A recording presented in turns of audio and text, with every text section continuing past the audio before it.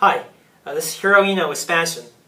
I'm really excited to talk to you about the evolution of the Hyperbus interface with the second product, HyperRAM. So this is the second product category that Spansion is introducing um, after HyperFlash. So let me tell you a little bit more about it. First, the problem statement. What you see on the left-hand side is a block diagram of a typical interface um, between a host system on chip and uh, memory solutions. So what you see up here is the NOR, at the bottom is the DRAM. And in order to connect these two devices to the host, you will require quite a few uh, uh, number of pins, uh, more so in the DRAM. You see here on the left-hand side is a dual-quad SPI device indicated by a green uh, ball. On the right-hand side is the DRAM, the red balls. You can see here that there's approximately 50 pins or so just to support a RAM device. And in order to do this for the system designer, you have to route all these signals, which means that you're going to have many more signal layers, perhaps six or more, to just support these two memory elements in the system. So what we've set out to do is try to fix this thing.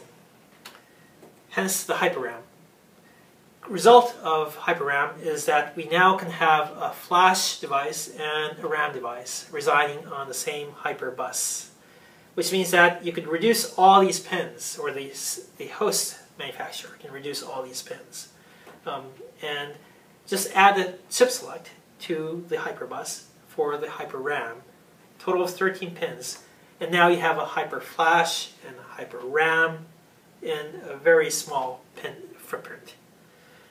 What this means to you is that you can now reduce the layers, uh, signal layers on the PC board because you only need to route 13 pins, which means that uh, tremendous cost savings for you. And uh, so overall, with the Hyper RAM introduction, uh, Hyper Flash, Hyper RAM on Hyper Bus with uh, cost savings that's really the value proposition of, of uh, HyperRAM. So the Hyperbus interface, you've probably seen this before, but we had uh, we made a little bit of a tweak to accommodate the RAM element, um, the RAM functionality of HyperRAM. Uh, it's the read-write data strobe. Originally this was a read data strobe. Now we also added the write functionality into that signal. We're not increasing pin count, we're just using the same signal, but now adding more features to the Hyperbus family of products. So again, HyperRAM. It's a very exciting solution for us. It's a new category for us using the Hyperbus uh, memory interface. So uh, stay tuned for more information um, for Spansion with regard to the HyperRAM product family. Thank you.